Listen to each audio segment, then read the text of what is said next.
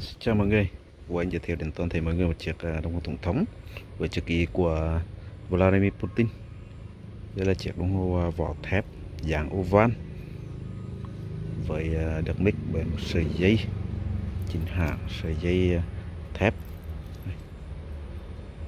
Lên tay thì cực kỳ đẹp luôn mọi người nhé. Chiếc này thì có size tầm 40. Đây.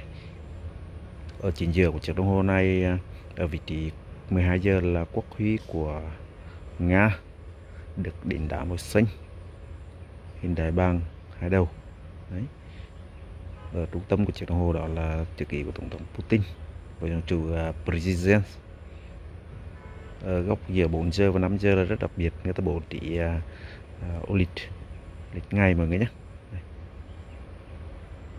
Chiếc đồng hồ này tôi sở hữu kính khoáng với khả năng chống được 3 ATM bộ máy à, automatic giúp chúng ta có thể thoải mái sử dụng mà không cần phải lên dây. Đây là phiên bản à, sản xuất limited gồm có 50 chiếc. Mặt sau của em nó cũng là được dập nổi quốc huy của Nga hình đại bàng hai đầu